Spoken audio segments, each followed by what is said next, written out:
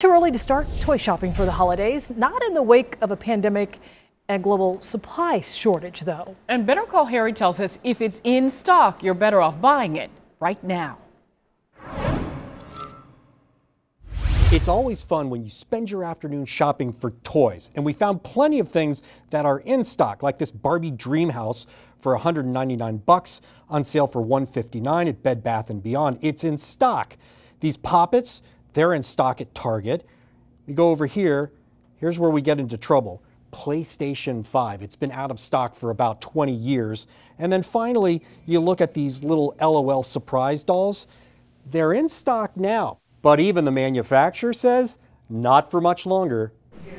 MGA Entertainment CEO Isaac Larian has an office filled with toys. 85% of his company's products, like LOL Surprise and Rainbow High, are made in China. Getting them into U.S. stores this holiday season won't be easy. A lot of them are sitting in factories, factory floors in Asia. A lot of them are in containers on the way here.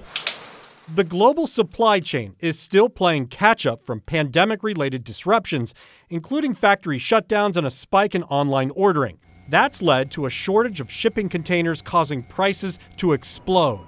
Last year, a 40 foot container cost $3,200. Now it's a bidding war. It's gone up to $22,000, $23,000. Companies that win the bid face another major challenge. Dozens of ships carrying everything from computers and clothes to toys are waiting outside of Los Angeles area ports. Mario Cordero is the executive director at the Port of Long Beach. Only about 40% are on schedule because of the delays at the port of origin, whether it's China, whether it's Vietnam. Once containers are unloaded, a trucker shortage is delaying shipments. When can we expect things to return to normal? Uh, that's a good question. Uh, that, that, that period keeps moving up. He believes the supply chain won't improve until next summer Larian is now using air freighters to try and get toys to customers in time. And when it comes to holiday shopping, my advice to parents, etc., is don't wait. Better call Harry, CBS 46 News.